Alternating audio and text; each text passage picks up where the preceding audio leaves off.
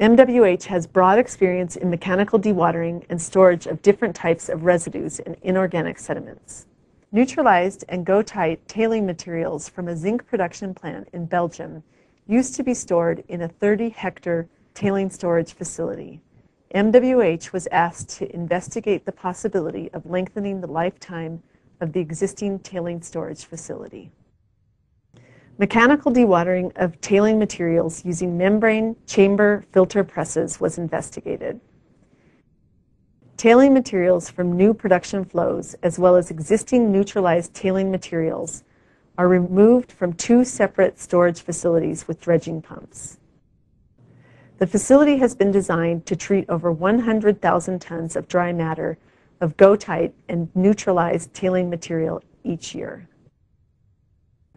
To optimize dewatering capacity and to guarantee a homogeneous and continuous flow to the filter presses, the tailing materials are pumped to a homogenization tank. A set of feeding pumps transport the tailing material from the homogenization tank to the filter presses. Membrane chamber filter presses guarantee optimal dewatering results. The entire process is automated, computerized, and monitored on a control panel. Measurements are performed on different parts of the installation in order to oversee the complete process and to target potential issues and problems as fast and as efficiently as possible. After filling the presses, additional water pressure is applied, resulting in filter cakes with a high dry solid content. After squeezing, the water from the membrane chamber is drained. When the filter chambers open, the filter cakes drop down. The filter cakes are collected on a conveyor belt and are transported to the collection pit located outside the mechanical dewatering facility. The dry matter content of the dewatered material increases from about 30% to about 60%, allowing the filter cakes to be stacked. The filter cakes are transported to the existing storage facility. MWH successfully increased the lifetime of the tailing pond from six and a half years to 22, while dramatically reducing the environmental impacts and safety risks at the site. All of this was achieved without additional investment or increases in operational costs. In order to assure accessibility to the Port of Antwerp to large sea-bearing vessels, port authorities need to dispose of huge amounts of contaminated and uncontaminated harbor sediments each year. Due to the scarcity and cost of land in Antwerp, lagooning the sediments is no longer an acceptable solution. As a result, the port was forced to seek a new and sustainable way to deal with its huge amounts of sediments. Mechanical dewatering of dredged sediments is an economic, sustainable solution for the treatment of harbor sediments. The process includes the separation conditioning, and dewatering of the sediment using membrane chamber filter presses. In the AMORAS installation, 600,000 tons of harbor sediments will be treated annually. The sediments are first dredged and the non-contaminated sediments are discharged into an underwater acceptance cell.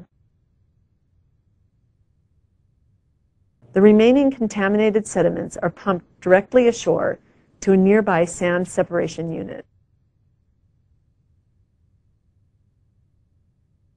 The incoming sediments pass through the sand separation unit containing rotating sieves and hydrocyclones. Yearly, 60,000 tons of sand is produced. This sand is stockpiled and can be reused. The remaining sediments are then pumped to a dewatering plant over a distance of four kilometers with a booster pump facility. The sediments are temporarily stored in four thickening ponds.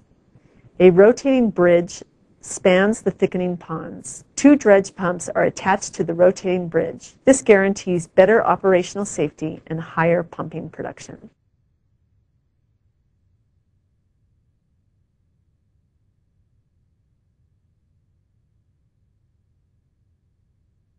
The transported sediments can be conditioned with lime, iron chloride or polymers in a large conditioning tank located between the filter presses. Then the sediments are mechanically dewatered in a membrane chamber filter press until a 65% dry matter content is achieved. To dewater 600,000 tons of dry matter annually, 12 chamber filter presses are required. The filter cakes are transported to a nearby storage facility via a system of conveyor belts. The filtrate generated from the process is treated in a wastewater treatment plant. The aim is to optimize reuse of the treated filtrate. A storage facility is available close to the mechanical dewatering plant. The goal is to stack 50 meters of filter cakes on top of 10 meters of moderately consolidated silt that already exists on the site.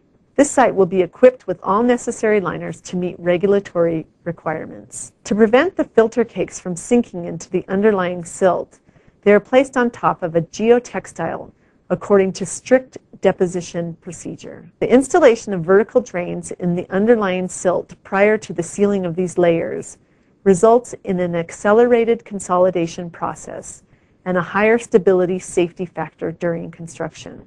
This methodology offers the best guarantee of safety without risk of slides. Moreover, this approach guarantees a maximum exploitation period for the project. Irrespective of possible recycling options for the filter cakes in the future, the deposit area can be used for the next 15 years. The mechanical separation and dewatering of the sediment is technically feasible for the large amount of sediments. The risk to the environment is controlled and limited due to the separation of the dirty and clean flows. Additionally, the excellent compaction of the dry matter ensures an impermeable layer, which also decreases the possible environmental risks. Reuse of the produced filter cakes will be feasible in the near future.